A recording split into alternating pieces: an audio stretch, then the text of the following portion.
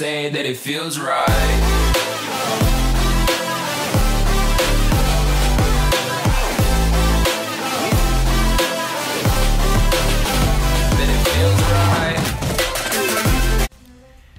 What's up, trainers? New sync grids are going to be expanded for Hau and the Sandcastle Pokemon.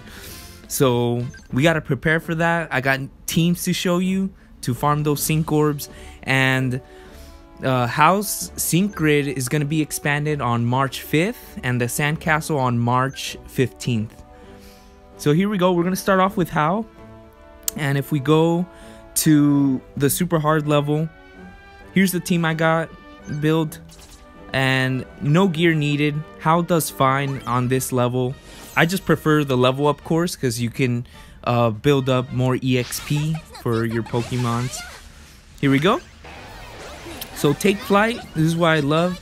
Uh, with take flight your move gauge will never drop. So Hau will just continually uh, keep spamming the discharge. So he's buffing up too. And here comes the discharge discharge. One and it was kind of weird using that. He could have just finished off uh, Dusclops but yeah it works fine. And there we go sync move ends the battle that was a really fast match I'm definitely gonna prioritize Hau sync soon and here we go uh, our next one is going to be the Sandcastle Pokemon, and I've tried. Uh, I'll, I'll show you. I, I tried finding stages for her.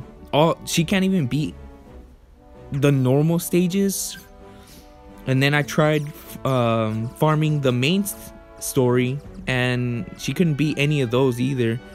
She either died from like status effect, or just it was way too slow because she only has one move astonish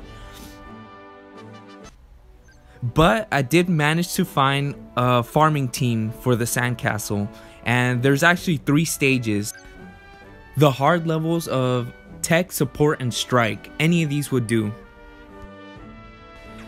So these stages work but they're okay. Like sometimes um, the sandcastle will fail because of burn for support and tech but the strike course is my favorite um so you can get same same applies here. You can either get burned you know sandcastle will get burned or paralyzed by Rose Raid.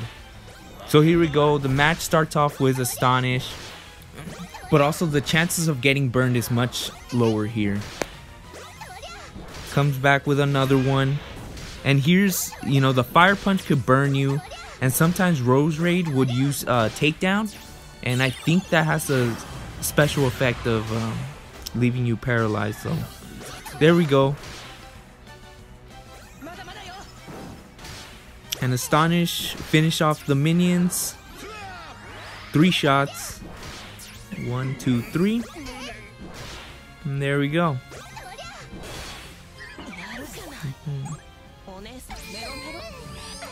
Alright, and that's all the teams for the expanded sync grids coming out. Actually, there's more coming out, I just don't have them yet, so... If there's a tutorial video you want me to do, just let me know. Uh, subscribe for more videos, and I'll see you on the next one. Peace.